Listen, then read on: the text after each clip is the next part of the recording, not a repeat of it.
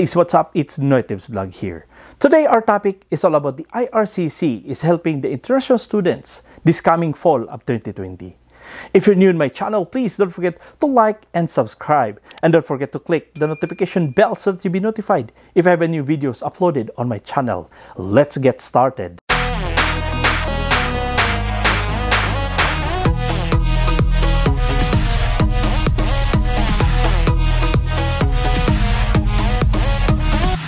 IRCC announced several major changes to help the international students pursue their education in Canada. IRCC says it's ruling out this measure to help the students begin their program in time for the fall of September of 2020, the academic year. In addition, a pandemic has impact with the IRCC ability to process the student permits. These new changes will help the students begin their program online this fall of 2020 with the Canadian Designated Learning Institution, the DLI. There are benefits to IRCC changes. Interested students can take comfort in being able to start their Canadian program online, which will protect their health and safety, enable them to achieve their various study, career, and immigration objectives. If you wish to begin their Canadian studies this fall of 2020, the IRCC will do its best to process their student permit, even if the student is unable to submit a complete study permit application. IRCC will pre-approve them if they meet the condition. Students wants to come to Canada due to the high quality of education. In addition, they are attracted by the opportunity to work in Canada during and after their studies and also potentially obtain a permanent residence to become a Canadian citizen in the future. The Immigration, Refugee and Citizenship Canada, the IRCC, the new policy are meant to help the international students to pursue their such goal. To pass the first stage students permit application must show number one, they have been accepted in a Canadian designated learning institution, the DLI. Number two, you have enough funds to support their education in Canada.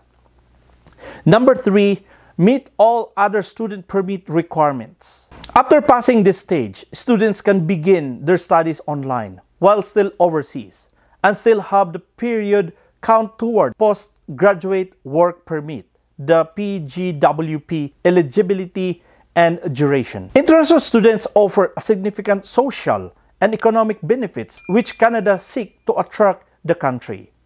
The Immigration, Refugee and Citizenship Canada, the IRCC, said that it will help the international students, and this is the good news. Number one, they will prioritize the processing of the student permit for the students who have submitted a completed application online. And number two, introducing a temporary a second stage approval process for international students who are not yet submitted the completed student permit application and also who wants to begin the Canadian education program online.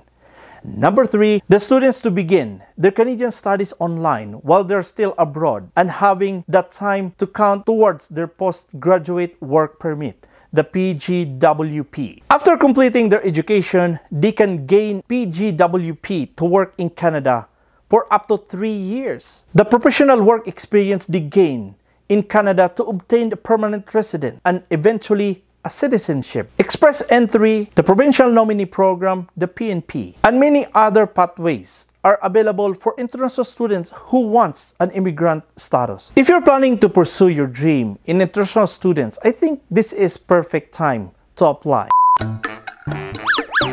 Shout out uh, to those people who click the join button.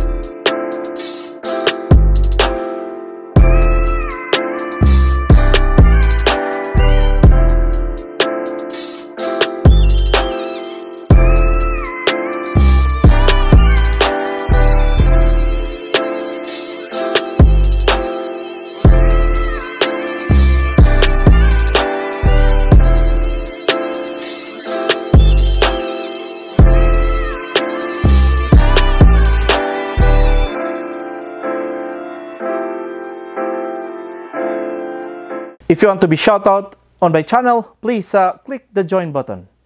That's all about it guys. If you have any question and suggestion, please uh, do comment below.